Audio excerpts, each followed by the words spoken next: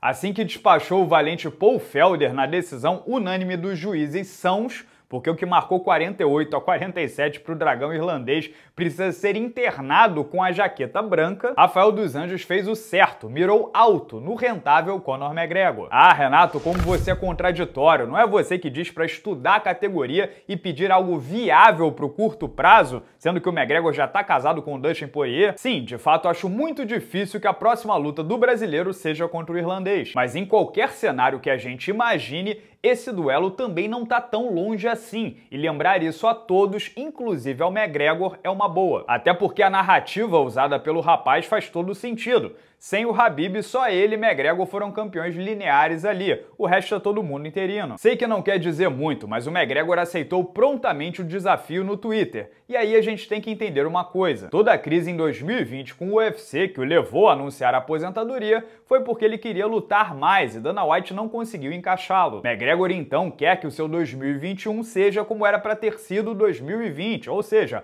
ocupado, frequente, fazendo de 3 a 5 lutas. Se ele perde para o Diamante em janeiro, pode até ser que dos Anjos já seja o próximo adversário. Veteranos, ex-campeões, têm todo um histórico juntos. Se o Poirier machuca, como já se retirou da luta contra o Nate Diaz, por exemplo, pode cair no colo do Dos Anjos também, como caiu no colo do Nate Dias quando o Dos Anjos quebrou o pé antes do UFC 196. É a ciranda do MMA. E mesmo que McGregor vença, se o Habib não volta, com uma vitória importante, o brasileiro tá lá também. Por exemplo, McGregor vence Poirier e pega o vencedor de Tony Ferguson versus Michael Chandler pelo cinturão interino ou linear. Aí se sobra o Justin Gate dos Anjos leva melhor, tá virtualmente com o title shot na mão, mesmo que não seja contra o McGregor. Sendo que entre essa galera Chandler, Ferguson, Gate, dos Anjos, não há uma grande discrepância comercial para nenhum lado. E volto a bater na tecla do passado porque é importante. Dos Anjos tem capital histórico e toda uma química já formada com o irlandês. Foi para ele que McGregor se vestiu de El Chapo e saiu imitando aquela famosa foto do traficante mexicano cumprimentando o ator Champagne. Foi com ele que saiu a famosa frase da noite da calcinha vermelha, quando McGregor quis dizer que quem assina para enfrentá-lo fica rico e comemora em grande estilo com a esposa. O repórter Ariel Helwani ainda lembrou hoje na ESPN que eles quase se enfrentaram numa segunda oportunidade. Antes de rolar toda aquela treta em Nova York, em que McGregor acabou jogando o carrinho de mão contra o ônibus em que estava o Habib Nurmagomedov, a intenção da empresa era casá-lo com o Rafael dos Anjos para disputar o cinturão interino dos meio-médios, a categoria até 77 quilos. RDA vinha de três vitórias consecutivas e tinha acabado de bater o ex-campeão Rob Lawler,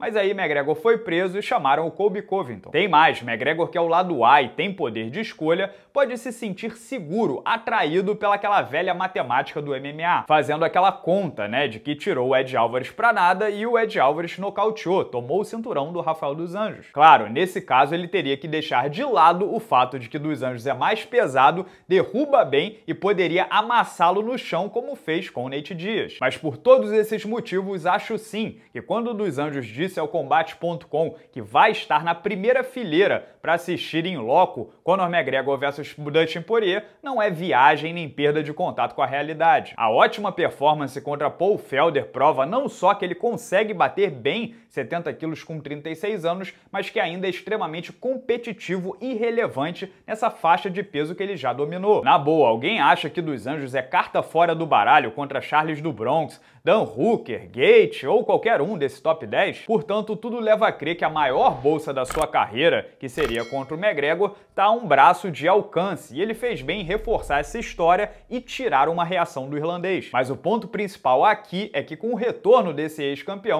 a categoria até 70 quilos fica ainda mais interessante. Ainda estamos em novembro, pessoal, então quem ainda virar membro do sexto round até o último dia do mês está concorrendo a 10 camisas do canal como essa, né? Sorteio vou fazer no início de dezembro. A luva vermelha do Bellator é, participa do, do quadro Fala Membro, também vai ter acesso à minha aula sobre comunicação aqui no YouTube, muitos mais benefícios. É só clicar no botão azul Seja Membro aqui embaixo ou no primeiro link da descrição. Hoje, mais cedo, rolou o podcast do Sexto Round. Acho que foi uma das melhores edições de todos os podcasts que a gente já fez. Foi um bate-papo muito legal, aberto e franco com o Patrício Pitbull, duplo campeão do Bellator. Para conferir, é só clicar no link aqui do lado. Fechado? Grande abraço a todos, muito obrigado pela audiência de sempre e até a próxima.